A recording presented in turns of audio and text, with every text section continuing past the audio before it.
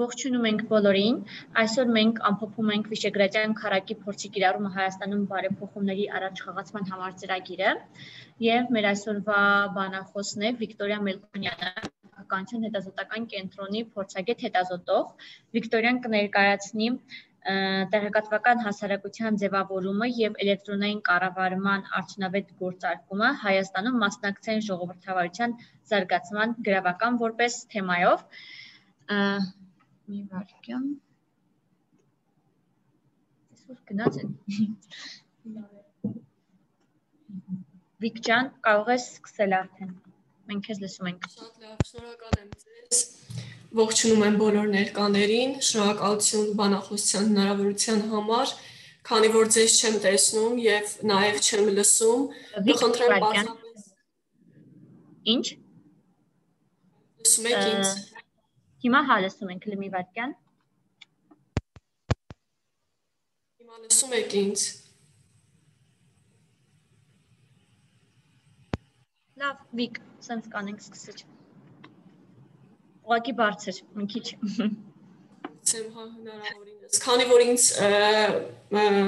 դժվար է լսել եւ նաեւ ես էլ ձեզ չեմ տեսնում, ուղղակի պետք է խնդրեմ հարցերի դեպքում ինձ ընդհատել ցանկացած ժամանակ, այլ հնարավորություն չունենք։ Սկսենք խոսել տեղեկատվական հասարակության եւ էլեկտրոնային կառավարման համակարգերի մասին Իրականում սրանք երկու առանձին թեմաներ են, որոնք լայն քննարկման շրջանակ են պահանջում, բայց քանի որ զարգացող ժողովրդավարությունների պարագայում խոսել էլ համակարգերի մասին, բայց չանդրադառնալ տեղեկատվական հասարակության զարգացվածության մակարդակին, կլինի որոշակի առումով անարդյունավետ, դրա համար որոշեցի, որ քննարկումը կսկսեմ ներկայացնելով Հայաստանում տեղեկատվական հասարակության ձևավորման մարտահրավերները եւ հնարավորությունները, ինչպես նաև դրա համատեքստում ինչպես են զարգանում էլեկտրոնային կառավարման համակարգերը։ Առհասարակ, եթե մենք նայենք էլեկտրոնային կառավարման ենթակառուցվածքների ներդրման գրասենյակի կայքեջ, մենք կտեսնենք հստակ ձևակերպում այն մասին, որ Հայաստանում էլեկտրոնային կառավարման համակարգերը զարգանում են արագ եւ հաստատուն կերպով։ Բայց նույն աղբյուրը նաեւ վկայակոչում է այն, որ այդ զարգացվածությանը համընթաց չի գնում հասարակական արձագանքը եւ մասնակցությունը։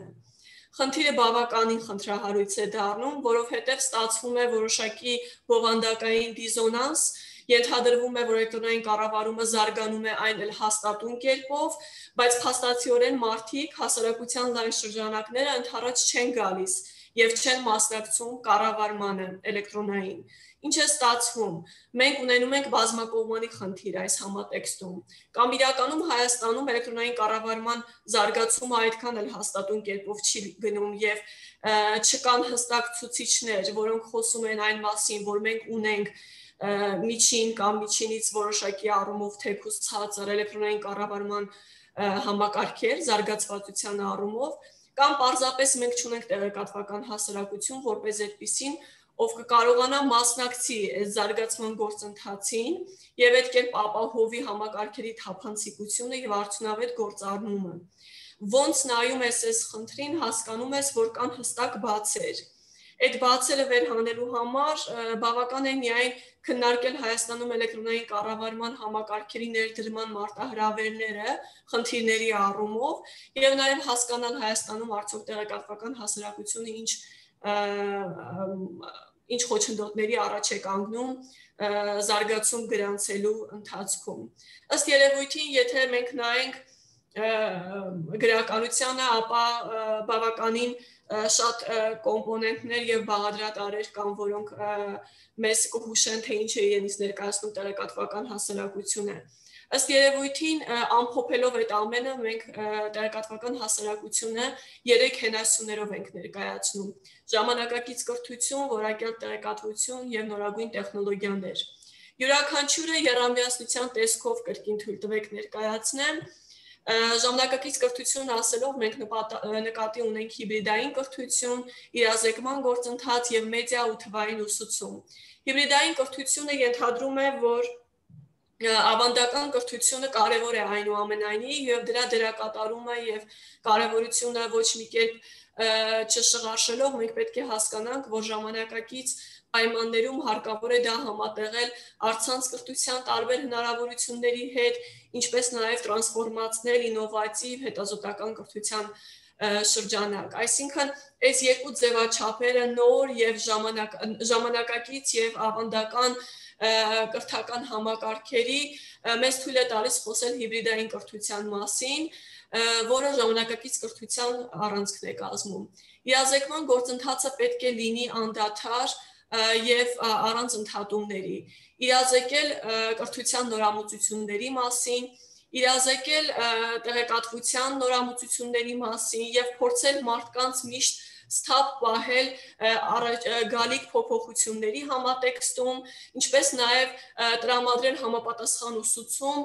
նոր եւ նորագույն կրթության գործիքակազմի մասին։ Սա իրազեկման գործընթացն է, որը տարբեր կերպ կարող է տեղի ունենալ, ունենալ իրազեկման արշավներից մինչև տեղեկատվական հոլովակների պատրաստում։ Մեդիա եւ թվային ուսուցումը ժամանակից կրթության այն բաղկացուցիչն է, որը ենթադրում է թվային գործիքների փաթեթների ներդրում կրթական համակարգ, որը կենթադրի ինչպես պետք է կողմնորոշվել ինֆորմացիայի հոսքի համատեքստում, ինչպես պետք է կարողանալ թվային դաշտում ուղղորդվել, որոնք են այն գործիքակազմերը, որոնք մենք որթեգրում ենք այս կամ այն թվային գործընթացին մասնակից լինելու եւ այդ գործընթացում արդյունավետություն ցուցաբերելու համար, համար եւ այլն։ Այս ամենը բնականաբար շատ փոխկապված է որակյալ տեղեկատվության հետ։ Որակյալ տեղեկատվությունը իր երթին իր հերթին բավականին խորը ասոցիացիաներ ունի ժողովրդավարության հետ։ Ինչու, որովհետև տեղեկատվության ապահովման հիմնական աղբյուրը մենք դիտարկում ենք որպես մեդիան, ավանդական մեդիան եւ նաեւ թվային մեդիան։ Իսկ մեդիան պետք է լինի ազատ եւ անկախ, որպեսզի կարողանա ապահովի անաչառ տեղեկատվություն, որակյալ տեղեկատվություն, հավաստի տեղեկատվություն։ Այս համատեքստում կարևորում ենք նաև պրոֆեսիոնալ լրագրությունը։ Պրոֆեսիոնալ լրագրությունը կրկին ենթադրում է ավանդական լրագրության եւ նաեւ թվային լրագրության զարգացվածության բարձր մակարդակ, որտեղ կգերակշռի ժամանակից ինֆորմացիայի հետ մանևրելու հնարավորությունը այո կոնտենտը որպես այդպեսին լինի լրատվական թե լինի տեղեկատվական հիմնական հիմնական առումով ձևավորվում է լրագրողների կողմից եւ լրագրության ինստիտուտի կողմից ինստիտուցիոնալ առումով մենք չենք կարող խոսել բլոգերի մասին, քաղաքացի լրագրողների մասին, որովհետեւ մենք ճունենք զարգացվածության այնպիսի մակարդակ Հայաստանում, որ կարողանանք ապահովել վերահսկողություն նման կոնտենտի դուրս բերման համար, բայց փաստացիորեն հիմնական պատասխանատուները դրանք լրագրողներն են, ովքեր ձևավորում են լրատվությունը, բաց են թողնում եւ կրում են պատասխանատվություն դրա իրացման համար։ Տեղեկատվության այլընտրանքային աղբյուրները կրկին պլուրալիզմի շրջանակներում կարելի է դիտարկել որպես ժողովրդավարության առանցքային կետ եւ դրա համար հարկավոր է ապահովել անաչառ աղբյուրներ որակյալ տեղեկատվության համար տարբեր հարթակներում, թվային հարթակ լինի, թե կրկին ավանդական հարթակները հերոստացույց,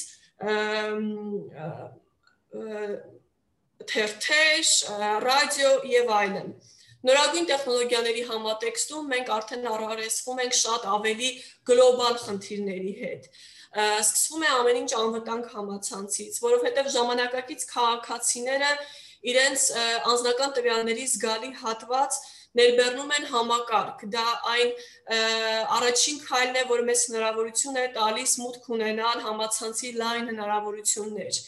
Այդ կերպ մենք նաև վտանգի ենք ենթարկում մեզ մեր անձնական տվյալների բազան, որը կարող է ընկնել այնպիսի կառույցների ձեռքին կամ այնպիսի անհատների ձեռքին, ովքեր հստակ կիբերգործողությունների արդյունքում դա կարող են օգտագործել հենց մեր դեմ, իսկ ընդհանուր առումով դա կարող է նաև ազգային անվտանգության մեծ վտանգ դառնալ։ Էլեկտրոնային կառավարումը եւ թվայնացումը տեղեկատվական հասարակության ընդհանրապես մեկ դերակատարն է։ Շատ կարևոր իհարկե, բայց շատ եւ կախված տեղեկատվական հասարակության մակարդակից եւ որակից։ Ըստ երևույթին ընդունված է սահմանել, որքան որ տեղեկատվական հասարակությունը լինում է զարգացած եւ կայուն, այնքան էլեկտրոնային կառավարման համակարգերի ներդրումը եւ թվայնացման գործընթացը գրում է արդյունավետ եւ թիրախային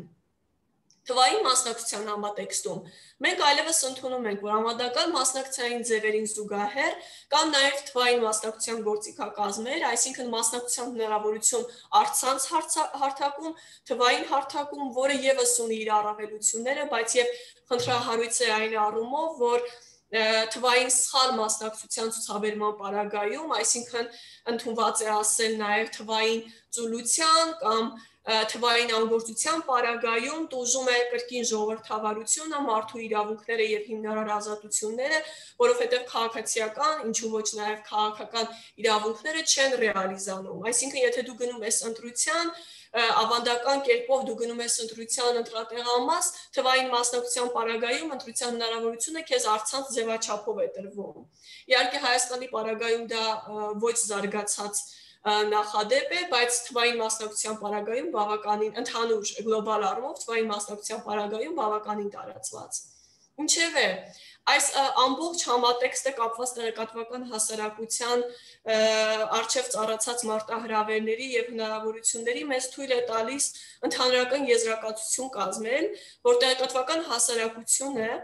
եւ դրա զարգացման գործընթացը ուղղակիորեն կապված է մարդու իրավունքների իրացման եւ ազատությունների պահպանության հետ։ Այսինքն կա ժողովրդավարություն, պետք է լինի տեղեկատվական հասարակություն, որտեղ ժողովրդավարության առանցքային գործիքակազմը, արժե համակարգը կամ հիմնասյուները մեծամասամբ պահպանվում են այն մարդկանց, այն կառույցների, այն դերակատարների շնորհիվ, ովքեր տեղեկատվական հասարակության անկախտելի մաս են կազմում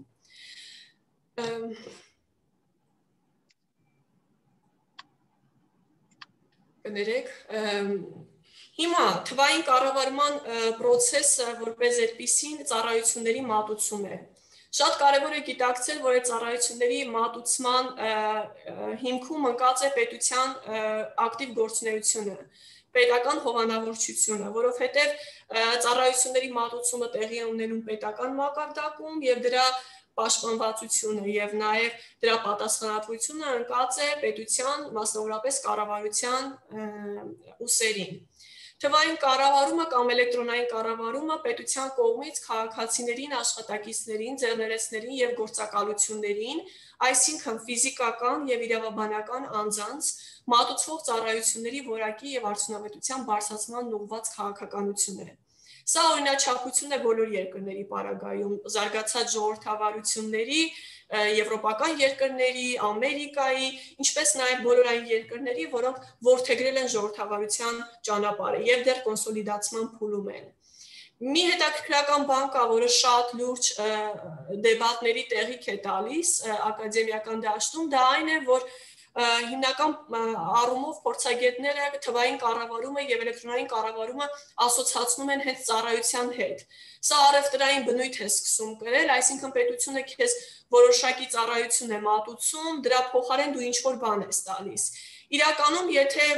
մենք խորն ենք նայում, սա իրողություն է եւ մենք սրանից ոչ միտեղ չենք կարող փախչել, բայց ամենակարևորը այն է, որ մենք ծառայություն բառից այս պարագայում ոչ մի կերպ չխորշենք, որովհետև ինքը շատ բնականon երևույթ է։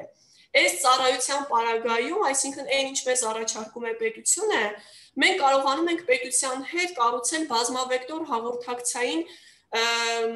շրջանակներ։ Իսկ հաղորդակցությունը եւ արդյունավետ ու թիրախային հաղորդակցությունը, որը կառուցողական հիմքերի վրա է գտնվում, ամենակարևոր ազդակն է նրա, որ մենք ճիշտ ուղղությամբ ենք շարժվում մեր ժողովրդավարության կոնսոլիդացման պայմաններում։ Եվ ի վերջո էլեկտրոնային կառավարման համակարգերի ստեղծումը եւ գործառնումը մեծամասամբ մարդկանց կյանքի որակի բարձրացմանն է ուղված եղել։ Եվ կլինի դա ծառայության տեսքով, թե ուրիշ այլ բարի իմաստային առումով, կարևոր չէ, կարևորը այն հիմքն է, որը իր մեջ թվայնացման գործընթացը կրում է։ Իսկ ընդհանուր առմամբ պետք է արձանագրել, որ էլեկտրոնային կառավարումը այնուամենայնիվ ավելին է, քան ծառայությունը էլեկտրոնային կառավարման համակարգերի ներդրման եւ թվայնացման պատշաճ իրականացման համատեքստում շատ կարևոր է արտաքին ներդրումային միջավայրը։ Սա օրինաչափություն է ոչ միայն Հայաստանի պայմաններում, այլ օրինակ վերջերս մենք հնարավորություն ունեցանք նաև փորձագիտական քննարկում ծավալել մեր գոլեգաների հետ Լեհաստանում, Մաչեյ Սադովսկին ով հանդիսանում է Startup Lab Poland-ի գործադիր տնօրենը եւ փորձագետ է թվային մեդիայի եւ էլեկտրոնային կառավարման համակարգերի ոլորտում հաստատեց այն փաստը, որ Լեհաստանը պետական մասշտաբով ընդունում է այն, որ արտաքին ներդրումային միջավայրը անհրաժեշտ է թվայնացման զարգացման համատեքստում։ Բնականաբար արտաքին ներդրումային միջավայրը ենթադրում է եւ ֆինանսներ, եւ փորձառություն։ Դեռ 2000-ականներից, երբ Հայաստանում մեկնարկեց թվայնացման գործընթացը, այսինքն սկզբնական շրջանում միջև 2006 ընդհուպ միջև 2008 թվականներ դրանք միայն քայլ նախաձեռնություններ էին, որոնք հիմք էին ապահովում զարգացման համար 2008 թվականից սկսած ավելի բուրըն կերպով զարգացում ապրեց էլեկտրոնային համակարգերի ներդրումը եւ նաեւ զուգահեռ ադապտացիան եւ շահագործումը, բայց 2000-ականներից ի վեր մենք հստակ միջավայր ենք ձևավորել ներդրումային Հայաստանում Դրան գլխավորում են Միավորված ազգերի կազմակերպությունը, Համաշխարհային բանկը, իսկ առաջատարը մնում է Եվրոպական միությունը։ Խնդրում եմ ուշադրություն դարձրեք, որ ԵՄ աջակցությամբ ավելի քան 1 տասնյակ էլեկտրոնային հարթակներ են գործառնում ներկայումս Հայաստանում։ Գլխավորապես եւ ամենաարժանահիշատակը երևի պետական փաստաթղթաշրջանառության համակարգն է, հայտնի Malbury-ին, որը ոչ միայն պետական համակարգում է հեշտացնում հաղորդակցությունը պետական տարբեր գործակալությունների, ոլորտների պատասխանատուների միջև, այլ նաև հնարավորություն է տալիս այդ հեշտացված աշխատանքի համատեքստում կարողանալ մատուցել որակյալ եւ նաեւ կարճ կարճ ժամանակահատվածում առանց ֆիզիկական որևէ ինտերակցիայի որակյալ ծառայություններ մատուցել նաեւ Հայաստանի Հանրապետության քաղաքացիներին։ Մյուս ամենահայտնի եւ ամենագործածելի էլեկտրոնային համակարգերն են իրավաբանական անձանց պետական ռեգիստրի համակարգը e-register-ը, իրավական ակտերի նախագծերի հրապարակման միասնական կայքը e-draft-ը, էլեկտրոնային նոտարի եւ տրանսպորտային միջոցների եւ ճանապարհային ոստիկանության էլեկտրոնային համակարգը road police-ը։ Իսկ առհասարակ, երբ որ մենք խոսում ենք Հայաստանում էլեկտրոնային կառավարման համակարգերի մասին, ամեն ինչ պետք է սկսել e.gov.am կայքից։ Սա այն կայքն է, որը ըստ երևույթին բոլոր պետական գերատեսչություններին միավորում է մեկ հարթակում, տալիս է կառավարման բոլոր հնարավոր գործիքները եւ տվյալների հավաքագրման հնարավորությունները եւ դա բաշխում է պետական բոլոր ապարատների միջև, ինչպես նաեւ դա դառնում է հասանելի մեզ ՀՀ քաղաքացիներից։ Ինչու՞մն է հարցը կայանում, որ սա հնարավորություն է մեզ տալիս արտահայտել տեսակետ, կարծիք եւ որոշակի դիրքորոշում, եւ որ ամենակարևորն է կարճ ժամանակահատվածում ստանալ այդ կարծիքի տեսակետի պատասխանը համապատասխան կառույցից, պետական կառույցից, որը հասցեատերն է մեր կարծիքի։ Բնականաբար զարգացման համատեքստում մենք այլևս կարող ենք նաև հետևել ընթացքին մեր հարցադրումների, հասկանալ, որ փուլում է այն գտնվում եւ հանդես գալը բողոքներով, առաջարկներով կապված նրա հետ, թե ինչպիսի որակային բարելավումներ պետք է լինեն էլեկտրոնային կառավարման գործառնման համատեքստում եւ ինչպիսի դժգոհություններ կան այս կամ այն կառույցի նկատմամբ, ովքեր ոչ պատշաճ կերպով են արձագանքել մեր քաղաքացիական հայցադիմմանը e.gov.am կայքում հնարավոր է ծանոթանալ կառավարության եւ վարչապետի ստորագրած որոշումներին, հասկանալ կառավարության նիստերում ընդգրկված հարցերի նախագծերի ինչպիսի տեսք ունեն, ինչպիսի բովանդակային կազմ ունեն եւ այլն եւ այլն։ Ընդհանուր առմամբ էլեկտրոնային կառավարման e.gov.am համակարգը համարվում է էլեկտրոնային կառավարման մայր կենտրոնը որից սերում են բոլոր հնարավոր հարթակները, այս կամ այն պետական կառույցի, Datalex-ը, էլեկտրոնային վիզան, որը պատկանում է արտաքին գործերի նախարարությանը, նոտարական հարթակը, իրավական հարթակը, համանդրական հարթակը, ոստիկանական, ինչպես նաև վճարումների եւ հայտադիմումների հարթակը։ Եկեք պարզապես որոշակի էքսկուրսիոն անցում կատարենք թերևս ամենաօգտագործվող էլեկտրոնային հարթակներին, հնարավորության դեպքում մենք ունենք նաև շրջայց կատարել կոնկրետ հարթակում, ծանոթանալ կառուցվածքին համենայն դեպս դա հնարավոր է իրականացնել։ e-request.am-ը ամենագործածելի կայքերից է էլեկտրոնային հարթակներից, էլեկտրոնային հարցումների միասնական համակարգ է ենթադրում, եթե դուք կտեսնեք, նկարում հնարավորություն կա աճ հատվածում ամրագրել այց։ Սա նորամուծություն է, նախկինում էս հնարավորությունը չկար, վերջերս է հայտ եկել, բավականին գովելի է, որովհետև երբեմն միայն որոշակի դիմում հարցում իրականացնելը խնդրի լուծում չէ եւ չի տալիս սպառիչ պատասխան մեր հարցերին հնարավորություն կա նաև ուղակի կոմունիկացիայի մեջ մտնել տվյալ պաշտոնյայի հետ, տվյալ կառույցի հետ, պարզապես արցանց այց ամրագրելով։ Հիմա պետական տեղական ինքնակառավարման տարբեր մարմիններ են ներկայացված e-request.am-ում։ Պետական ապարատի գրեթե բոլոր նախարարությունները պատասխանատու կառույցները կան այնտեղ, սկսած կառավարությունից մինչև ազգային ժողով, պետական վիճակագրական կոմիտե, էկոնոմիկայի նախարարություն, կրթության եւ մշակույթի նախարարություն եւ այլն։ Ուղարկում ենք որոշակի հարցում, դիմում, հետևում ենք ընթացքի 3-ից 5 աշխատանքային օրվա ընթացքում, մինչև 5 աշխատանքային օրվա մեջ մենք ստանում ենք մեր պատասխանը Եթե մենք որոշակի ստատիստիկա ենք վերցնում request.am-ից, թույլ տվեք ասեմ, որ ի պատիվ այս կայքի բավականին լավ է աշխատում վերլուծական հատվածը եւ մենք հնարավորություն ունենք ամեն ամսվա կտրվածքով հստակ թարմացումներ տեսնել այս կամ այն խնդրի շուրջ, օրինակ քանակի հետ կապված, եթե մեզ հետաքրքիր է թե յուրաքանչյուր ամիս որքան դիմում, հարցում կամ բողոք է ներկայացված եղել քանակային առումով, այնտեղ կա թարմացվող պատուհան, որը ողջ տեղեկատվությունը մատուցում է։ Տվյալ սխեման վերաբերում է 2020-2021 թվականի մինչև մայիս ընկած ժամանակահատվածում թարմացումներին մենք տեսնում ենք, որ դիմումները զգալի կերպով գերակշռում են հարցումների եւ բողոքների համեմատ։ 2020 թվականի հունիս ամսին դիմումների առումով պիկ է գրանցվել մենք տրամաբանորեն դա կարող ենք նաև համավարակի հետ կապել, այսինքն չկա հնարավորություն ֆիզիկական որոշակի փոխգործակցության այս կամ այն պետական այրերի կամ պետական վարչությունների հետ, ուստի մենք request.am-ի օգնությամբ կարողանում ենք դիմում հայտեր ուղարկել, իրականացնել հարցումներ, դրա համար էլ նմանօրինակ ծավալ է ապահովել դիմումների։ Իհարկե ելնելով որոշակի ժամանակահատվածից դա անկում է կատարել, բայց այնուամենայնիվ գերակշռում է։ Այսինքն Հայաստանի Հանրապետության քաղաքացիները կամ մարդիկ, ովքեր տիրապետում են այս կամ այն գործունեությանը որպես իրավաբանական անձ, այսինքն հետաքրքրված են ոլորտի գործունեությամբ, ըստ երևույթին նախապատվությունը տալիս են e-request.am-ով դիմում հայտերի ներկայացմանը։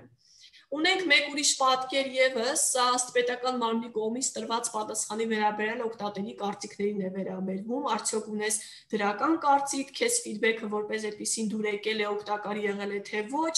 ունես բացասական, դրական կամ մասնակի ես համաձայն պատասխանների հետ, կարող եք նկատել, որ բավականին մեծ մեծ է եղել բողոքը, այսինքն անհամաձայնությունը կապված հունիս ամսվա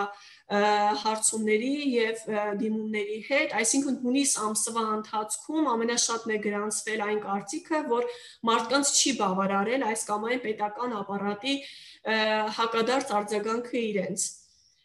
Մեկ այլ օրինակի համաձայն կարող ենք ըստ ներկայացված դիմումների, հարցումների եւ բողոքի քանակների հասկանալ, թե հիմնական հասցեատերը որ կառույցն է եղել։ Ինչպես տեսնում եք, 2020 թվականի տվյալներով գերակշռում է Հայաստանի Հանրապետության ոստիկանությունը, հետո աշխատանքային եւ սոցիալական հարցերով նախարարությունը։ կրկին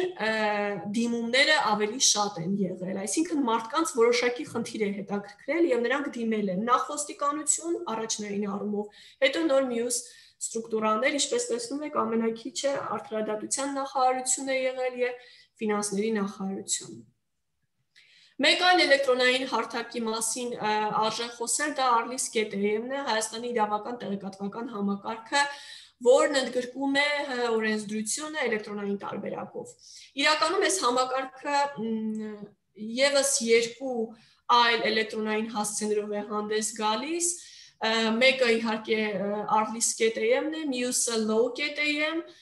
երրորդը legislation.am Երեք տարբերակով էլ հնարավոր է մուտք գործել իրավական տեղեկատվական էլեկտրոնային բազա եւ մասնագիտական հարցում կատարել կապված մարդու իրավունքների եվրոպական դատարանի վճիրների հետ, վճռաբեկ դատարանների դատարանի վճռի հետ, այստեղ կա հստակ տեղեկատվություն Եվրասիական տնտեսական միության ակտերի մասին, որը թարգմանված է պաշտոնապես եւ ներկայացված թարմացվող տեղեկատվություն է տրամադրվում նաև առաջիկայում լույս տեսնող իրավական ակտերի մասին եւ քննարկումների մասին եւս բնականաբար այն բոլոր հարթակները, որոնց մասին մենք խոսում ենք, արդեն որոշակի կառուցվածքային առումով զարգացած են, բայց կան որոշակի խնդրահարույց հարցեր եւս, որոնք մեզ մատնում են այն մասին, որ կա որոշակի որակային բարելավում։ Ողջ խնդիրը կայանում է հենց նրանում, որ պակաս մասնակցությունը Հայաստանի Հանրապետության քաղաքացիների կողմից այս կամ այն էլեկտրոնային հարթակում ներգրավվածության ստիպում է չնկատել այդ խնդիրները եւ հանդես չգալ համապատասխան հակարձագանքով, առաջարկներով այս կամ այն չգիտեմ, գործիքակազմի վերանայման, նպատակահարմարության քննարկման կամ փոփոխության ըստ քաղաքացիների նախընտրության։ Դրա համար էլ շատ դեպքերում տարիներ շարունակ այս կայքերը կարող են չբարելավել, որտեղ չկա համապատասխան հակարձագանքը։ Դա է պատճառը, որ որքան որ մասնակցությունը քաղաքացիների կողմից էլեկտրոնային կառավարման օգտագործման, շահագործման մեծ լինի, այնքան հավանականությունը, որ մենք շատ արագ կարողանանք ադապտացնել այս թվային գործիքակազմը, շատ ավելի մեծ կլինի։ e-draft.am-ը իրավական ակտերի նախագծերի հրապարակման միասնական կայք է։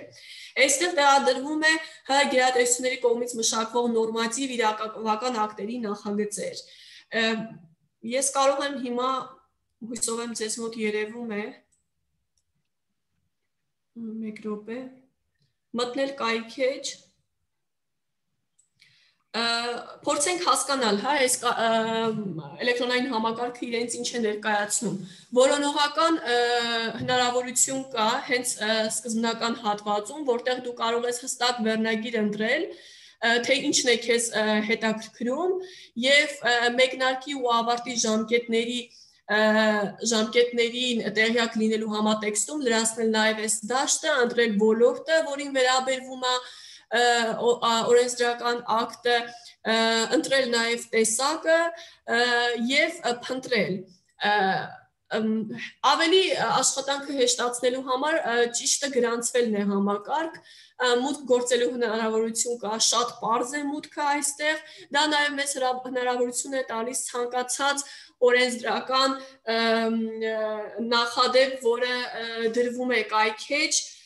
քննարկել, գալ հանդես գալ առաջարկություններով, հավանել կամ չհավանել օրենքը եւ նաեւ որոշակի մեկնաբանություն թողնել։ Օրինակ Հայաստանի Հանրապետության Արտադրության նախարարության քաղաքացիական կացության ակտերի գրանցման մասին օրենքը, եթե մենք բացենք, կհասկանանք, որ ընդհանրապես չկա կողմ դեմ որևէ քվեարկություն, փոխարենը 1606-2021 թվականն է միջև 07-ը հաջորդ ամսվա 01-ն է տեղադրված լինելու համակարգ մեկնարկել է այսօրվանից արդարադատությանն է ոլորտը վերաբերվում 19 հոգի արդեն հնարավորություն է ունեցել դիտի օրենքը բնականաբար առաջիկայում նաև կգրանցվի ակտիվ մասնակցություն վստահ եմ որովհետև նման նախադեպեր շատ են եղել Օրինակ նման մի նախագիծ է ընդունվել Հայաստանի Հանրապետության հարկային օրենսգրքում փոփոխություններ եւ լրացնել լրացումներ կատարելու մասին, ինչպես տեսնում եք 8%-ը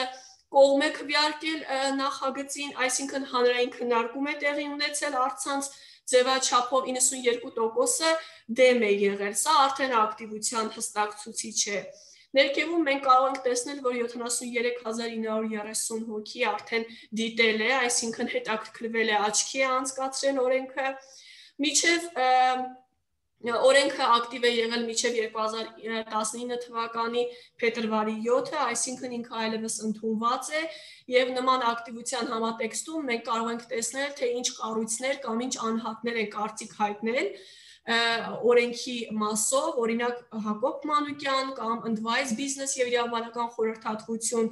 այսինքն երկար կարելի է քննարկում ծավալել։ Բնականաբար, այս քննարկումը ծավալելու համար այս օրենքը պետք է աշխատանքային կամ առօրյա կենսագործունեության առումով ինչ որ կերպ քեզ հետ առնչվի։ Օրինակ ինձ որպես քաղաքացի բնականաբար հարկային դաշտը այնքան հետաքրքիր չէ եւ մասնագիտական ուղղվածությունից ելնելով ես ժամանակ չեմ ծախսի որոշակի մեկնաբանություն թողնելու կամ այս հանրային քննարկմանը մասնակցելու, բայց կան հետաքրքրվող կառույցներ, պետք է գրանցել նաև այն փաստը, որ այդ կառույցների մեկնաբանությունները շատ է կրկնվում տարբեր ձևաչափերով, կան տարբեր հետաքրքրվող մարդիկ, ովքեր ի վերջո հետաքրքրված են ոլորտով եւ մասնակցություն են ցուցաբերում։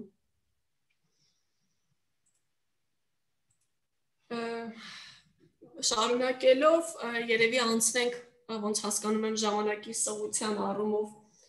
անցնենք հաջորդ հնարավորությանը վիճակագրություն կրկին, որը կա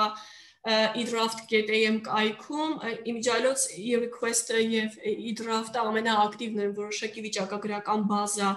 համակարգ ներմուծելու առումով դա շատ գովելի է, որովհետև ըստ երևույթին հնարավորություն է ցույց տալիս հասկանալու ինչպիսի մասնակցություն կա եւ ինչպիսի հակարձագանք էլեկտրոնային համակարգերի օգտագործման առումով ամենաշատ տեղադրված նախագծեր, ինչպես տեսնում եք, արդարադատության նախարարությանն է, պատկանում, հետո կրթության գիտությունն է գալիս եւ էկոնոմիկայի նախարարությունն է։ Սա պետական 10 մարմինների վիճակագրականն է ապահովում այս գրաֆը եւ 400-ից ավել, ինչպես տեսնում եք ցախ հատվածում, ենթադրում է ամենաշատ մասնակցությունը քանակային առումով, եթե չեմ սխալվում, սա 2021 թվականի վիճակագրությունն է դեռ եւ ընթացիկ է գրանցված օկտատերերի քանակով շաբաթական կտրվածքն է ուսումնասիրվում, եթե տեսնում եք 2021 թվականի մայիսի դրությամբ 2000-ից ավելի շաբաթական գրանցում է եղել։ Սա եւս բավականին մեծ թիվ է կազմում նման նեղ մասնագիտական, նեղ քննարկման էլեկտրոնային համակարգի համատեքստում։ Մենք ունենք IKENG-ը, էլեկտրոնային կառավարման ենթակառուցվածքների ներդրման գրասենյակի հարթակը, որի միջոցով մենք մուտք ենք գործում էլեկտրոնային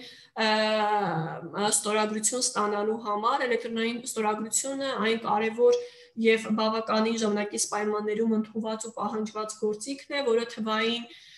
փաստաթղթերի վրա է դրվում եւ էլեկտրոնային փաստաթղթաշրջանառությունը ավելի անվտանգ ու ապահով հիմքերի վրա է դնում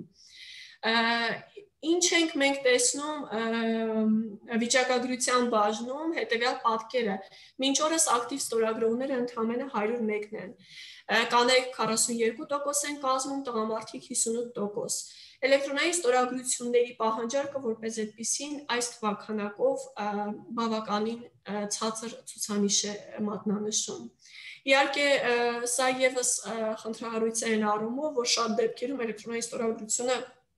քաղաքացիների կողմից պարզապես պահանջված չէ միջին վիճակագրական Հայաստանի Հանրապետության քաղաքացին էլեկտրոնային ստորագրության կարիք չունի, եթե անդադար արցանց էլեկտրոնային թղթաշրջանառության մեջ չի գտնվում այս կամ այն կառույցի կամ արտերկրի հետ։ Էլեկտրոնային վիզա ստանալու համար բավական է միայն e-visa MFA կայքը մուտք գործել, Սա եւս ենթադրում է բավականին པարզ ընթացակարգ էլեկտրոնային վիզա ստանալու, որը հստակ գումարի պայմաններում հստակ տեղեկատվության համակարգների ներբերման համատեքստում 21 եւ 120 օր տևողությամբ կարող է կացության իրավունք տրամադրել արտերկրի քաղաքացիներին։ Համակարգը գործում է բացառապես անգլերենով requested details կա purpose and duration, data confirmation and payment. Սրանք այն բոլոր ընթացակարգերն են, որոնք պետք է անցնել վերջնական էլեկտրոնային վիզա ստանալու համար։ Բավականին շատ է կիրառվում ներկայումս Հայաստանում։ Հիմա էլեկտրոնային համակարգերի ադապտացման եւ պատշաճ շահագործման մասին Հայաստանում շատ կարելի է խոսել։ Հայաստանում այն զարգացման փուլում է գտնվում, կան շատ մարտահրավերներ, բայց հետաքրքիր մի բան գրանցվեց էլեկտրոնային զարգացման համատեքստում կապված ուղղակիորեն կապված համավարակի հետ 2020 թվականին, երբ Հայաստանում սպոնտան կերպով սկսեցին գործարկվել շատ էլեկտրոնային համակարգեր եւ միակ պատճառը այն է, որ չկար ուրիշ հնարավորություն ֆիզիկական գործածության գնալու այս կամ այն պետական մարմին կամ այս կամ այն գերատեսչություն գործարք կատարելու դուք ստիպված եք պարզապես անցնել էլեկտրոնային ձևաչափի եւ արդեն էական չէր տիրապետում եք այն գործիքակազմին թե չէ կամ համապատասխան հիմքեր այս կամ այն համակարգի պատշաճ գործառնման համար թե չէ մենք այդ անցումը ապահովեցինք եւ Հայաստանում ինչպես եւ աշխարհի մի շարք այլ երկրներում եւ երկրների մեծամասնության մեջ մենք թրիչքաձև զարգացում գրանցեցինք էլեկտրոնային կառավարման համակարգերի ստացվեց այնպես, որ էլեկտրոնային համակարգերը պետք է օգտագործվեին, էլեկտրոնային համակարգերի օգտագործումը սովորելու հետ զուգահեռ։ Դա մենք հասկացանք մեր աշխատանքային գործունեության ընթացքում, դա բարձր կրթական ոլորտում եւ սոցիալ-տնտեսական, օրինակ, չգիտեմ, աջակցության փաթեթները ստանալու համատեքստում քաղաքացին պետք է համավարակից ուժելու համատեքստում պետական աջակցության սոցիալական իր փաթեթը ստանար արցանց դիմումաձևի հիման վրա, արցանց գործառնության հիման վրա, որքանով էր այդ քաղաքացին տիրապետում այդ գործիքին թե ոչ, այլևս էական չէր, որտեղ համավարակը իր պահանջներն էր դրել։ Եվ Թուրիչքաձև նման զարգացումը միայն ժամանակի ընթացքում կարող է ցույց տալ, արդյոք մնայուն է որպես գիտելիք թվային հարթակներից օգտվելու էլեկտրոնային կառավարման համակարգերը շահարկելու, թե իրականում դա սպոնտան հակարձագանք էր գլոբալ ճգնաժամին, առողջապահական ճգնաժամին եւ անմիջապես ճգնաժամը հաղթահարելուց հետո մենք կրկին անցում կկատարենք մեր ավանդական գործնեության ձևաչափերին, թե էլեկտրոնային կառավարման համակարգերի օգտագործումը մեզ համար կդառնա այլևս օրինաչափություն։ Բնականաբար շատ ուրախալի կլինի, եթե մենք հասկանանք, որ այլևս հաղթահարելով համավարակը մենք ունենք մնայուն արժեք էլեկտրոնային կառավարման համակարգերում ակտիվ մասնակցության քաղաքացիների կողմից, բայց դա մեծ հարցական է, որի գնահատականը մասնագիտական հնարավոր է տալ միայն գուցե 1 կամ 2 տարի անց, երբ որ հնարավորինս հաղթարած կլինենք եւ համավարակը եւ դրա հետևանքները։ Հայաստանում որպես համավարակին հակարձագանք սկսեցին գործառնել գործառնել էլեկտրոնային թվային մի շարք գործիքակազմեր, որոնք հնարավոր էր ակտիվորեն օգտագործել բջջային հավելվածների տեսքով եւ կայքերի տեսքով։ Առաջինը թերևս հենց COVID-19 Հայաստան հավելվածներ, որը մեզ պաշտոնական տեղեկատվություն էր տալիս առ այն թե ամենօրյա կտրվածքով որքան հարակակիրներ կային կորոնավիրուսով Հայաստանում, որքան թիվն է բուժված, որոնք են մավան ելքով դուրս եկել, թվային բազա էր, որը հնարավորություն էր տալիս օրվա ընթացքում լինել իրազեկ պետական տվյալների հիման վրա, ոչ թե լրատվության, որը մենք կարող էինք դիտել հրարցակումներով, այլ պարզապես պետական տեղեկատվություն, որը շատ արագ հայտնվում էր մեր հեռախոսային էկրաններին։ Դրանից բացի COVID-19 Հայաստանը ուներ հնարավորություն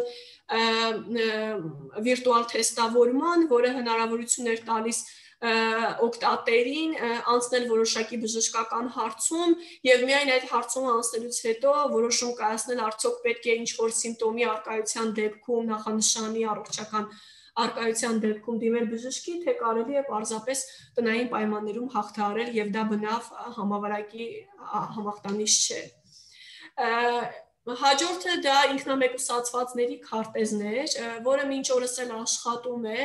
որոշակի ճշգրտությամբ ենթադրում էր, որ պետք է վիրտուալ կերպով ցույց տա թե Հայաստանի Հանրապետության որ տարածքում եւ ոչ միայն մայր կենտրոնում, մայրաքաղաքում, այլ Հայաստանի Հանրապետության ողջ տարածքում հասկանալ թե որքան են որքան են կազմում ուրեմն վարակվածները, ինչպիսի ինքնամեկուսացման պայմաններում են նրանք գտնվում,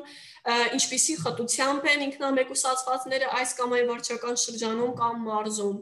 Խնդրում եմ թույլ տվեք նկատել, որ այս երկու հավելվածները բավականին բուրըն արձագանք գտան միայն սկզբնական շրջանում։ Սակայն հետագայում եւ հասարակական հետաքրքրությունը նրանց հանդեպ եւ նրանց արդյունավետությունը որպես այդպեսին շատ կտրուկ անկում ապրեց եւ դրանք մնացին միայն էլեկտրոնային ֆորմալ ձևաչափեր, որոշակի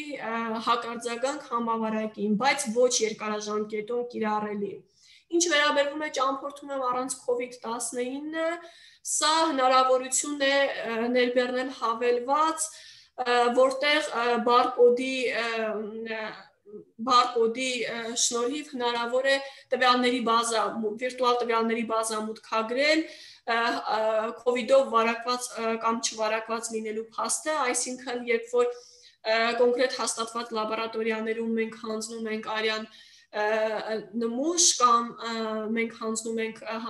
կորոնավիրուսի թեստ, պատասխանը ի հայտ է գալիս մեր անձնագրային տվյալների բազայում, որը սկանավորված է այս հավելվածում։ Էությունը կանում է նրանում, որ սա միակ ճանապարհն է դեպի Ռուսաստան կամ դեպի Բելարուս ճամփորդելու, որովհետև պետք է ցույց տաս հստակ լաբորատորիայի հաստատում առայն դու գրում ես վիրուս քո մեջ, թե ոչ։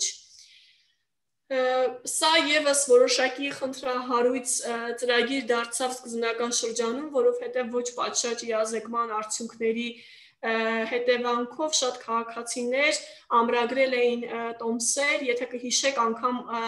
բուրըն քննարկումներ էին տեղի ունենում եւ վրթովություններ հենց օթանավակայանում կապված սրա հետ, չիմանալով ծրագրի գործառնության ընթացակարգը քաղաքացիները ամրագրումներ էին կատարել եւ կորոնավիրուսի թեստավորում էին անցել, որը չէր համապատասխանում այս արցանց ձևաչափին, որը արդեն պետական համապատասխան կառույցների կողմից հաստատված էր։ Ներկայումս բավականին լուրջ քննարկումներ են գնում armed e-health բջջային հավելվածի շուրջ, սա նորամուծություն է, մի քանի ամիս է ինչ գործառնել է, էությունը կայանում է նրանում, որ պատվաստվելուց հետո բնականաբար պատվաստման բոլոր դոզաչափերը ընդունելուց հետո հնարավոր է այս հավելվածի միջոցով ստանալ պատվաստման անձնագիրը ըստ երևույթին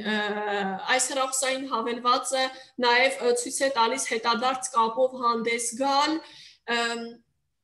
առողջապահական որոշակի ստրուկտուրային դիմում գրել կամ թեժ գծից օգտվել եւ կապ հաստատել որոշակին կոնսուլտատիվ իմաստով սա եւս շատ օգտագործվող հավելված է միջազգային հարթակում, որովհետեւ Լեհաստանում դա օրինակ դեռևս 2020-ականների ավարտից է սկսել գործառնել, ինչու որովհետեւ սա նախ գործառնել է որպես կապ բժիշկների եւ պացիենտների միջև արցանց կոնսուլտացիաներ, արցանց բուժօգնություն դեղատոմսերի դուրս գրում, հետո նոր միայն հավելված, որը տալիս է պատվաստման անձնագրային հնարավորություններ։ Սա շատ կարևոր հավելված է այն առումով, որ շուտով կրկին բարկոդի արկայության պայմաններում, որը կանաչում է, եթե դու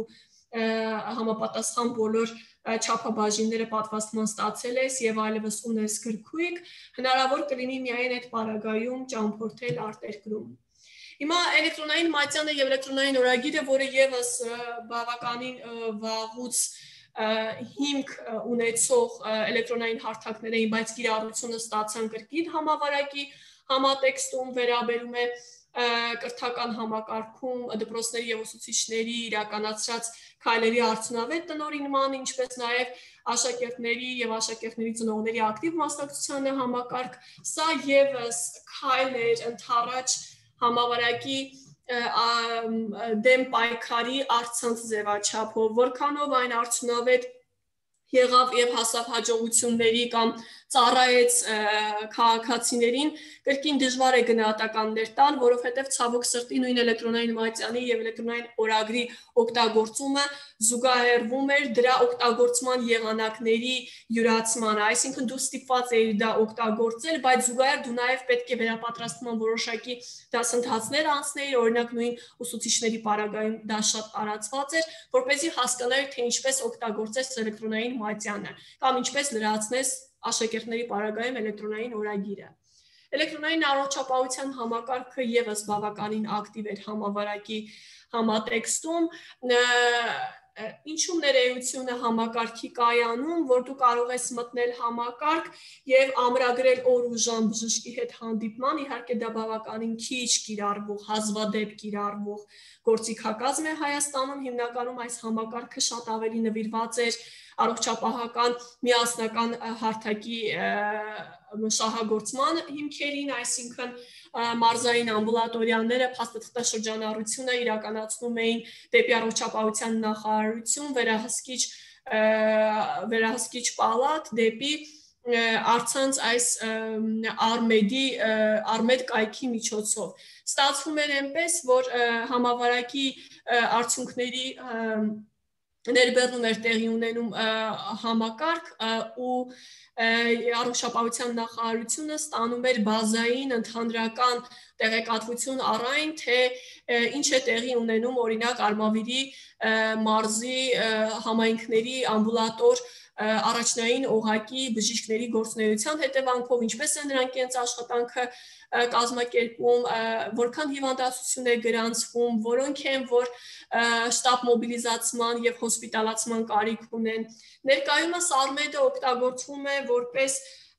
կորոնավիրուսով տվյալների բազա այն առումով, որ տեղեկատվություն է տեղադրվում, թե որքան պատվաստվողներ են եղել այս կամ այն համայնքում կամ մայրաքաղաքային այս կամ այն հիվանդանոցում եւ կենտրոնում եւ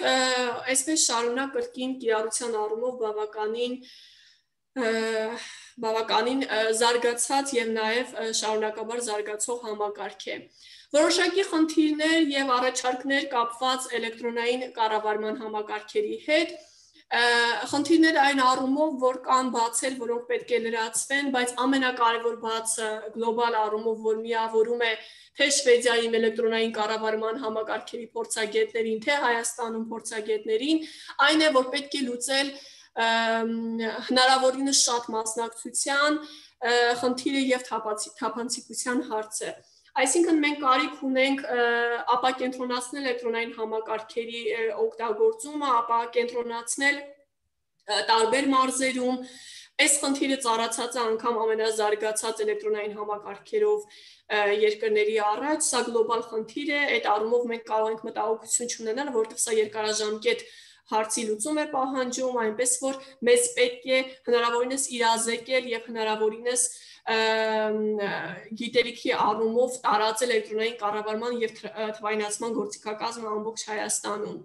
Բայց օրինակ, երբ որ ես ժամանակին հարցում եմ ուղարկել վիճակագրական կոմիտե,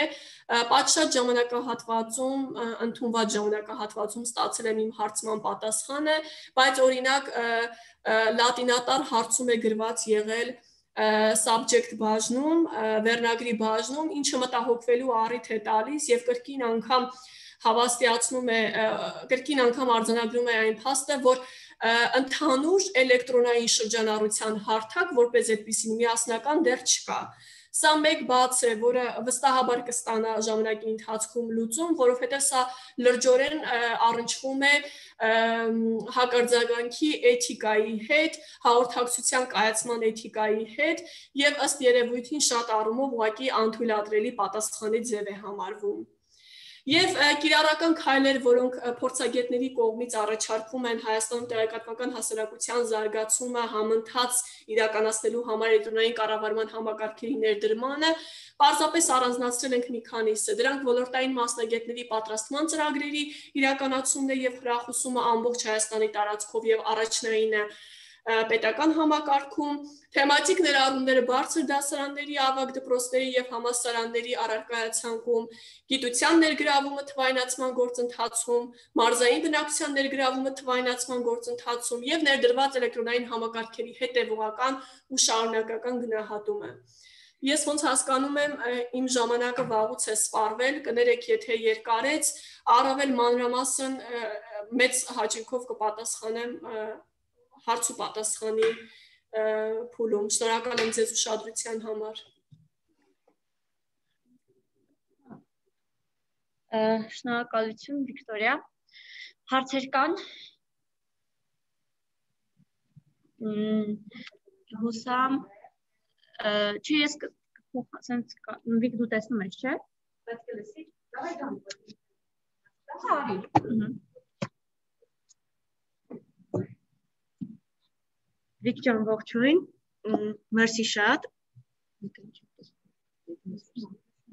Չէ, մենք դու մեզ լսում ես, չէ։ Այո, այո։ Հա, շատ լավ։ Մերսի շատ, ինձ շատ հետաքրքիր է։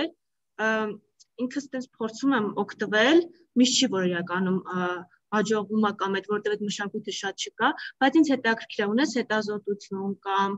հետազոտության արդյունքում ունես որևէ վերլուծություն ինչու է որ մեր բնակության մեծամասնությունը հա տեղյակ չի, հա, ծրագրերի մասին չեն օգտվում եւ ուզում եմ հասկանամ ով է ամենաշատը, հա, պետական մարմիններից որ պետքա գործանել եւ չի արել ինչի արդյունքում էլ որովհետեւ քո ներկայացած վիճակագրություններից ելնելով հասկանում ենք որ ակտիվ չեն, տեղեկացված չեն եւ առանձնապես չեն օգտվում, միշտեր բավականին դրա կարիքը կա, որտեղ շատ հեշտացնում է ունես որևէ վերլուծություն այդ Շատ շնորհակալ եմ հարցի համար եթե մենք փաստում ենք անուշիկ, որ Եվրոպայում բավականին արագ է զարգանում եւ ամուր հիմքերի վրա էլեկտրոնային կառավարման համակարգերը որպես այդպեսին դրա համար կա միայն մեկ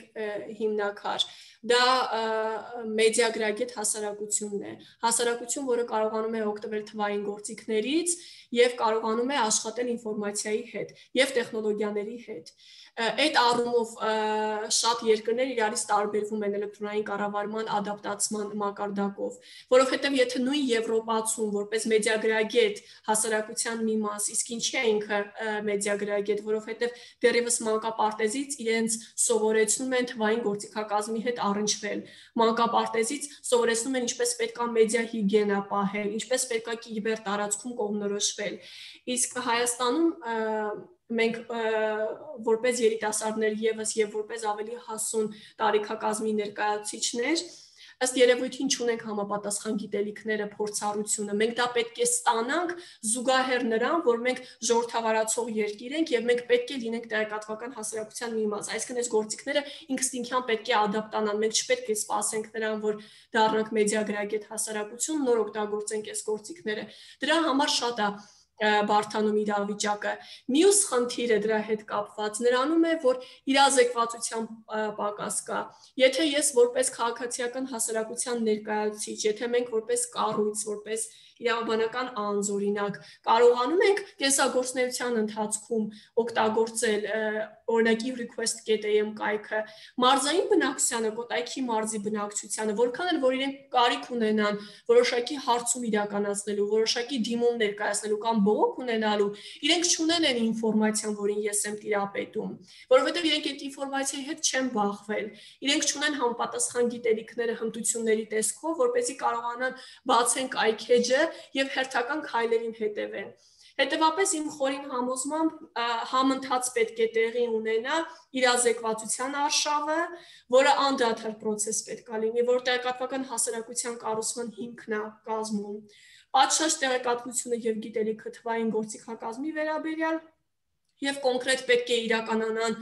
հատվածական, պիլոտային, տեղային ծրագրեր էլեկտրոնային կառավարման գոյություն ունեցող համակարգերի, ամենակարևոր համակարգերի, ես չեմ ասում ամենակարևոր այն առումով, որ մեզ պետք է հանրային քննարկում ծավալել, մեզ պետք է ամենօրյա որոշակի հարցում իրականացնել կամ գործընթաց իրականացնել, որտեղ շատ նեղ մասնագիտական էլեկտրոնային համակարգեր կան, որոնց անդրադառնալ մենք կարող է 3 տարին մեկ կարողանանք կամ պետք գա դա մեզ, բայց ամենակարևոր համակարգերը մենք պետք է սովորեցնենք մարդկանց այդ համակարգերի մասին եւ այդ համակարգերի օգտագործման որոշակի ուղենիշեր տանք մարդկանց։ Եվ ամեն ինչ ժամանակի ընթացքում վստահաբար իր տեղը իր տեղը կընկնի, որովհետեւ կստացվի այնպես, որ դա դառնալու է օրինաչափություն մարդկանց համար եւ իրենք դա կիրառելու են ըստ երևույթին նաեւ մեծ հաճույքով։ Ես ճիշտ եմ հասկանում, որ որպես առաջին օղակ կատարող պետքա դիտարկենք կրթության գիտության նախարարության օրինակ կոնկրետ նախարարության հարցով ես վստահաբար չեմ կարող համաձայնել, որովհետև նույն այդ նախարարությունը պատասխանատու է բացառապես կրթական էլեկտրոնային կառավարման ծրագրերի ներդրմամբ, մշակութային, պատմական բնույթի, լավ սպորտին վերաբերվող բնույթի, բայց դա այնա ինչ իր լիազորությունների սահմանում է. Կրթության գիտության նախարարությունը պատասխանատու է էլեկտրոնային մատյանների էլեկտրոնային օրագրերի պատշաճ գործարկման համար բայց պետությունը եւ կառավարությունը որպես վերին ուղակ պատասխանատու են ողջ էլեկտրոնային կառավարման համակարգերի պատշաճ գործարկման համար ներառյալ կրթությանը վերաբերվող առևտրային գործիքակազմի վերաբերվող, այսինքն միակ պատասխանատուն, եթե ընդհանրական մենք ասենք, եւ թվային կառավարման հաջողությունների գրանցման եւ ձախողումների գրանցման նախ պետությունն է, որտեղ ինքը կանգնած է այս ողջ գործընթացի հիմքում, որովհետև էլեկտրոնային կառավարման ներդրումը դա ծառայություն է, ինչպես նշվեց, իսկ այդ ծառայությունը մատուցում է պետությունը։ Բնականաբար քաղաքացիական հասարակությունը մեծ դերակատարում ունի։ Մենք մեր բաժինը ունենք եւ բավականին մեծ առյուծի բաժին կա նրանում, որ մենք կարող ենք խթանել զարգացումը եւ մեր անտարբերությամբ մենք կարող ենք խոչընդոտել թվայնացման գործընթացը Եվ իհարկե մեկ ուրիշ խնդիր էլ կա՝ հասարակությունը եւ հասարակության տարբեր տարիքակազմեր, սոցիալական տարբեր շերտեր պետք է պատրաստ լինեն գալ ընթառաջ փոփոխություններին, որոնք հարուցվում են թվայնացման գործընթացի հետ զուգահեռ։ Շատ շնորհակալություն։ Շնորհակալ եմ քեզ եւս։ Ես մի էսպիսի դիտարկում ու նաև հարցը բխեցնեմ հետեւյալով, երբ որ օրինակ տեղական ինքնակառավարման մարմինների համայնքապետարների կայքեջիում տեղադրված ադիմումների բազան եւ մոնիտորինգ են իրականացնում, փաստորեն բարձում է դա միայն ձևական բնույթ առայժմ գրում ու քաղաքացին ավականու կամ նիստերը եւ այն ինչ որ գցում է համայնքապետարանի կայքեջում ինչի հասանք, որ ոչ թե քաղաքացիներ չեն դիմում, դա իր տեղին, իր հերթին, հա, քաղաքացիներ пассив մասնակցություն էս առումով, հա, այլ նաև համայնքապետարանի աշխատակիցները չեն կարողանում հասկանալ որտեղից պետք է մուտք գործեն համակարգ, որտեղից վերցնեն դիմումները, ընթացքը ինչպես կարող է հա դիմում գծողը տեսնի ու ինչպես կարող են պատասխանել։ Ու այսպես բավականին մեծ համայնքապետարաններում, անգամ քաղաքային համայնքներում այս խնդիրը բախվեցինք, հասկացանք, այսինքն կա ինքը համակարգը, բայց համայնքապետարանի աշխատակիցները վերապատրաստված չեն, թե ինչպես պետք է օգտվեն դրանից։ Հետևաբար բնակչությունից պահանջել կամ ավելի գիտելիքներ այս պահին դեռևս չարժի ու ինչ վերաբերում է նաև նշեցիր, հա, դու 2020 թվականի կարծեմ վիճակագրություններ ցույց տալիս։ 2021-ը հիմնականում 21-ին ինչ վերաբերում էր սոցիալական ապահովության նախարարության եւ աշխատանքի հարցերի զինվորների պատերազմից հետո զինվորները ովքեր որ պետք է աջակցում էին որ իրենք պատերազմի մասնակից էին ու աջակցություն ստանային իրենք request-ով էին դիմում դրանից հետո արդեն ուղղորդում էին իրենց տարբեր նախարարություններ այստեղ էլ բավականաչափ խնդիրներ կար այսինքն զինվորներ շատերը վիճակի չէին կամ տան անդամները չէին հասկանում ինչպես կարող են իրենց դիմումները մուտք գործեն մուտք անել համակարգ կամ եթե լինում էր ինքս մի քանիսին օգնել ու տեսել ենք որ նախարարությունը գծում էր մյուս նախարարության վրա օնլայն պատասխանը գալիս էր մյուս նախարարությունը մյուս նախարարության վրա այս համակարգում ու այսպես բաց էր մնում զինվորների դիմումները մինչև որ եկավ օրը լրացան Այսինքն եւ ունենք տեղական ինքնակառավարման մարմինների մակարդակով, որ աշխատակիցները չեն հասկանում, մյուս մակարդակում էլ ունենք, որ բնակիչները չեն հասկանում ու մենք լուրջ արշավի կարիք ունենք երևի թե ամենապատասխանատուն դու էլ կհամաձայնես եւ յուրաքանչյուր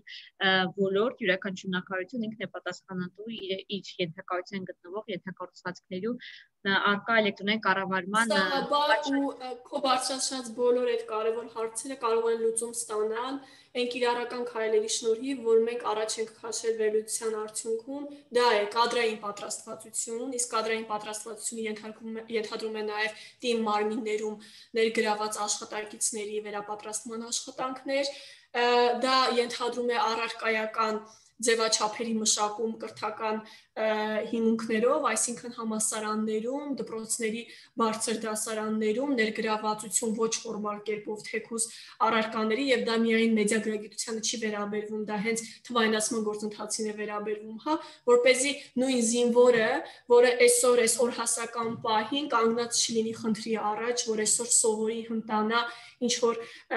արցած ձևաչափից օգտվելու համար, այլ ինքը պատրաստված եւ իրազեկ ու գիտակից, որ հնարավոր է օգտվել, որ այս հնարավորությունը կա, գնա եւ համապատասխան քայլերը իրականացնի իրեն հասանելի օգնությունը եւ աջակցությունը ստանալու համար։ Մի հետաքրքիր բան կա թիմերի հետ կապված, դու շատ ճիշտ շեշտադրում արեցիր եւ որքան հրաշալի կլիներ, որ տեղական ինքնակառավարման մարմինները կարողանային այս էլեկտրոնային գործիքակազմը օգտագործեին պատշաճ կերպով, որովհետեւ էլեկտրոնային կառավարման համակարգերի միջոցով սկլիներ եւս մեկ քայլ դեպի մոտեցում համայնքի բնակչությանը, երկխոսության հաստատում, արդյունավետ կառուցողական հաղորդակցության հաստատում, նույն այդ իրազեկման արշավների իրականացումը թիմ մարմինների միջոցով, այսինքն գլոբալ առումով միայն այն որ թիմը ներգրաված լինի ակտիվորեն էլեկտրոնային կառավարման համակարգերի ներդրման մարզային ձևաչափում, հա, օրինակ, մի շարք հարցերի լուծում կտա, անթուք միջև նույն թիմերի լեգիտիմության բարձրացում եւ թիմերի ճանաչողականություն եւ մարդկանց կողմից հարգալից լավ կառուցողական վերաբերմունքի հաստատում տեղական ինքնակառավարման մարմինների հետ։ Այնպես որ ընդհանրապես մի քայլ եւ բավականին շատ լուծումներ։ Եվ Եվ մի հարց էլ միշտ հասարակական պահանջ եղել է ժամանակին, հիմա թերևս չկա, բայց ինչ ըստ քեզ հա էլեկտրոնային կառավարումը կնպաստի, որպեսզի կառավարական շենքերը ապա կենտրոնացվեն, քանի որ դա բավական հեշտացում է արդեն աշխատանք ու քաղաքացիները կարիք չունեն մի շենքից մյուս մասնաշենք գնան, քանի որ արդեն էլեկտրոնային կառավարում կա ու այս դեպքում կառավարությունը հանգիստ կարող է իր շենքերը, կառույցները մարզեր տեղափոխել։ Հետաքրքիր է, ես երբեք դրա մասին չէի մտածել, ես միշտ մտածել եմ այն ուղղությամբ, որ էլեկտրոնային կառավարման համակարգերի պատշաճ գործառնումը լավ ժողովրդավարությանը կարող է հանգեցնել տարածաշրջանային մակարդակում, իսկ դա իհարկե մեծ քայլ է այդ առումով, եթե դու հստակ ապակենտրոնացում ես հապահովում, իսկ մենք կարիք ունենք կրթության ապակենտրոնացման, մենք կարիք ունենք պետական համակարգի ապակենտրոնացման, ապա այս թվային բարիերները, որ կան, հաղթահարելով մենք կստանանք հնարավորություն կապ պահպանել պետական ցանկացած ստրուկտուրայի հետ առանց հաշվի նստելու են հանգամանքի հետ, թե ինքը որտեղ է՝ Դիլիջանում, Գյումրիում, թե Երևանի սրտում։ Բնականաբար սրանք արդեն անկարևոր հարցեր են, եթե մենք կարողանում ենք պատշաճ էլեկտրոնային մասնակցություն ցուցաբերել իսկ դա կրկին մեծ պատասխանատվություն է դրա համար կրում պետությունը եւ պետությունը պետք է ձեռնամուխ լինի որտեղ արտաքին ներդրումային միջավայրը կարեւոր է շատ կարեւոր է անխուսափելի է որովհետեւ դա եւ փորձ է եւ ֆինանս եւ ծրագրերի ներդրում ադապտացում բայց տեղական ներդրումային միջավայրը, որի գլխավերևում հենց պետությունն է, կառավարությունն է կանգնած, զարգացման հիմքում է ընկած։ Վիկտորիա ջան, առաջին շնորհակալություն շատ լավ ներկայացման համար, դա շատ կարևոր է եւ շատ գեղեցիկ ներկայացրել ես։ Ես մի հարց Ինչ ես կարծում։ Այ իրազեկման իրազեկման հետ կապված, իրազեկման եւ կրթության հետ կապված հանրային հերոստատեսությունը, որովե դերակատարում չունի, օրինակ կան ստեցված շատ ծրագրեր, ինչպես ներկայացրել, որոնց մասին նույնիսկ ես հա ուրեմն մի հարթակ է անհրաժեշտ որտեղ որի միջոցով հանրությանը ներկայացվի ստեղծվածը եւ այդ ստեղծվածից օգտվելու էլեմենտար կանոններ ձևերը ինձ թվում է լավագույն հարթակը բնակության մեծ ընդգրկվածության ապահովելու համար հանրային հեռուստատեսությամբ կարելի է նման ինչ-որ առաջարկ ներկայացնել, որ նման մի արդյոք ստեղծի հանրային հեռուստատեսություն։ Շատ շատ ճիշտ եք եւ ամենահետաքրքիրն է, որ դուք հենց թիրախին հարվածեցիք, հանրային հեռուստատեսությունը դա ազգային արժեք է, եւ ինքը համազգային բնույթ է կրում։ Պատկերացրեք, ինչքան լսարան կա ամբողջ Հայաստանի տարածքով հանրայինին դիտորդ եւ այդ լսարանում որքան մեծ է, օրինակ, չգիտեմ, 40+ տարիքակազմը իր մասնակցությամբ եւ որքան արդյունավետ կարող է լինի արշավը տեղեկատվական հանրայինի կողմից մենք անգամ չենք նկատել տեղեկատվական արշավ սոցիալական կայքերում համացանցում չկա, մենք չենք կարող ակնկալել, որ դա կլինի հանրայինում։ Հետևաբար պետք է թիրախային ծրագրեր մշակել եւ համագործակցության լծակներ փնտրել հերոստատեսությունների հետ, որոնք ներկայացնում են ավանդական մեդիան սոցիալական կայքերի, սոցիալական տարբեր հարթակների հետ որոնք ներկայացնում են թվային մեդիան եւ այս փոխգործակցության արդյունքում մենք շատ արդյունավետ կերպով կարող ենք թեկուզ միայն վիրտուալ ձևով հասցնել խոսքը տեղ, որ թվայնացումը կարևոր գործընթաց է եւ սա իշահ Հայաստանի եւ Հայաստանի քաղաքացու է։ Ըստ երևույթին սա արցանց ձևաչափով կարելի է անել։ Մեկ ուրիշ ծրագիր, որով շատ անգամներ մեր կառույցը քաղաքականության հետազոտական կենտրոնը հենց հանդես է եկել, կապված է նրա հետ, որ մենք տեղում պետք է այդ ծրագրերը իրականացնենք մարզային ներգրավվածություն ապահովենք, փորձագետներին, ոլորտային մասնագետներին տանենք համայնքներ եւ համայնքի ակտիվ ներկայացուցիչների միջոցով փորձենք կրթական այս բաղկացուցիչը տարածել եւ իրազեկման, անդադար իրազեկման աշխատանքներ տանել։ Սա եւս կարող է շատ օգտակար լինել։ Ինչ ձևով էլ որ մենք անենք, ով էլ որ ներգրաված լինի այս տեղեկատվության արշավում, եթե լինի հանրային հեռուստատեսությունը, դա կլինի հրաշալի եթե լինի, չգիտեմ, որևէ թվային լրատվական, հա, Facebook-ում կամ Twitter-ում կամ Telegram-ում կրկին կլինի հրաշալի, որովհետև որքան էլ որ մենք փորձենք անտեսել, հա,